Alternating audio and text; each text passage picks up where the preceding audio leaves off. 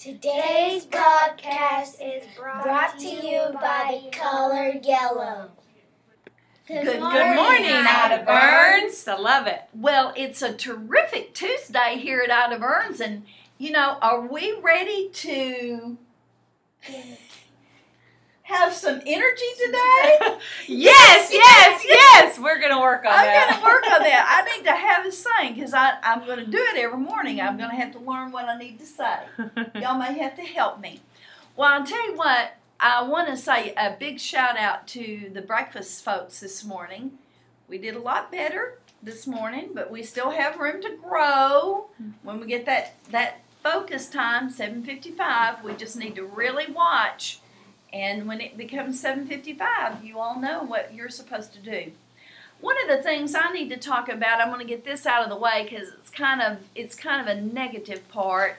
Um, I'm hearing that our first graders, could be second graders, are having some problems with the bathrooms. Mm-hmm. And I just want to remind everybody that there are cameras in the hallway, no matter where you are, if you're on first grade or second grade hallway, if you're on third or fourth grade hallway, or if you're on kindergarten hallway, there are cameras In the cafeteria. in the cafeteria. We yesterday, camera yesterday for a situation that came up and we pulled up the cameras to see what actually happened. And this was something that happened on Friday. Mhm. so we can go back. It records those videos every second of every day. We can look right now in the hallways or in, in any room in any uh, area of our school and see what's going on But you know, your purpose to go to the restroom is to take care of your business, and and I'm hearing that teachers are having to leave their classrooms to go down to see what all the commotion is in the, the restrooms.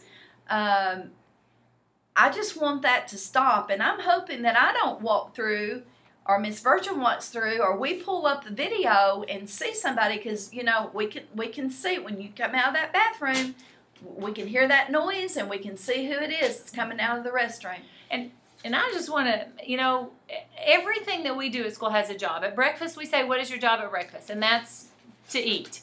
Um, during the school day, Nate, what is your what is your job while you're here at school in class?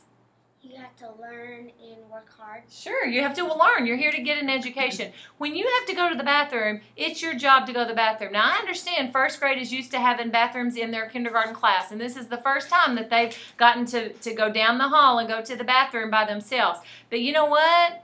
You have to be just as responsible, and, and, and probably more so, than any other time that, that you can get from your class to the bathroom and take care of your business and do the right thing. And I don't think Miss Thacker and I should have to tell a first No. grader what's the right way to go to the bathroom. It is not a playground. It is not recess. It is not time to play, to act silly, to make someone laugh, and certainly not time to make a mess. You know, Miss Shelley and Mr. Brandon and Mr. KJ work very, very hard, but their job is to keep our school in neat order. It's not to clean up a mess that you've made because you weren't doing the right thing. And and that really hurts my heart to think that we are, are making choices in the bathroom that are are not clean for our school and are are misbehaving. Well, that's very sad because would you do what? Would you act like that in the bathroom at your home? Uh, that's something. This is the, this is your house, and we all have to work together to make this a nice place to come to school. We want it to be a nice, clean place.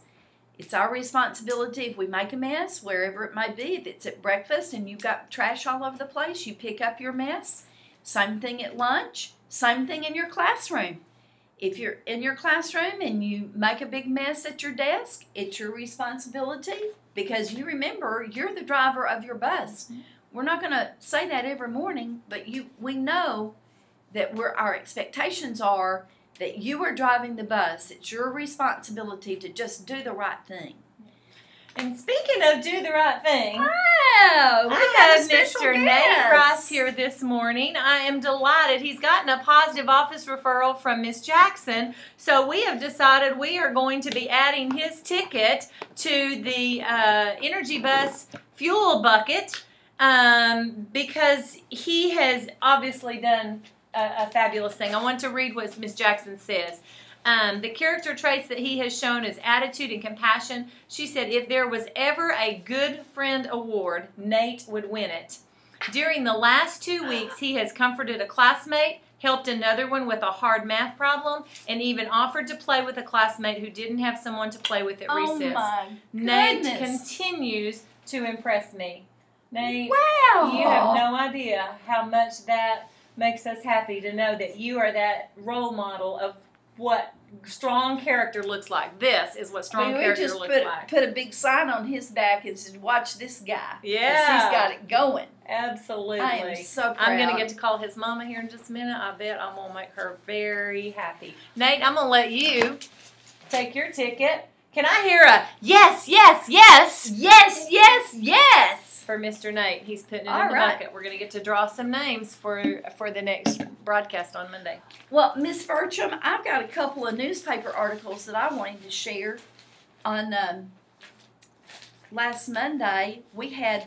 Uh, you may already know this was in the paper in the school zone. Ah, we had. Here. You hold it.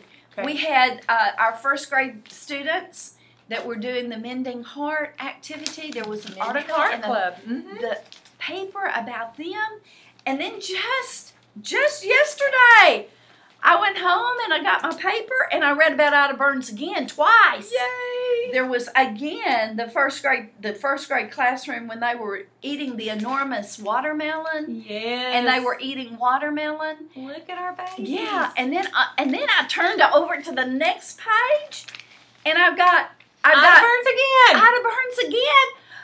Oh, let me tell you what, when I went and looked in the mirror, I had this big old smile on my face thinking I am one proud principal because I love to open up the paper and see my school with all of the learning that's going on.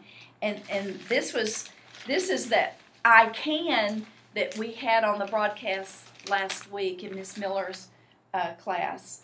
Was that this last week or was Yeah. it this week? It was last week. We went to Miss Miller's class for the I Can project. I had been in the Mending Heart Club with first grade, and that's what this article is about. Um, they were they had to demonstrate where they had shown kindness to someone, Yes. and then they got their badge, which was a band aid over their heart. So those are, are very nice articles about our school. And then the watermelon, they're learning to make juicy sentences. Isn't that fun learning that's impressive. going I on love here that. at Ida Burns, and that just makes me so proud. Well, yesterday, one of the things I forgot to tell you all is that teachers, I put a video in the Google Classroom about the the kid, Kid president. president. and I forgot to say that uh, when I put it on there on Sunday. It kept spinning, so I didn't really know whether it would work. But he has a pep talk that he might like to give to everybody. So if you get time this week, you ought to go in there and watch it. He's very inspiring, and it really helped me to feel a little peppy, put a little pep in my step.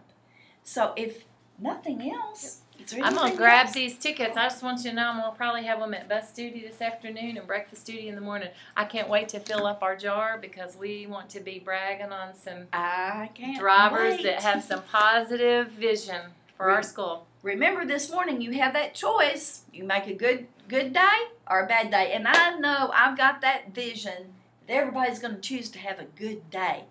Be like Nate. Mm. Have a good day.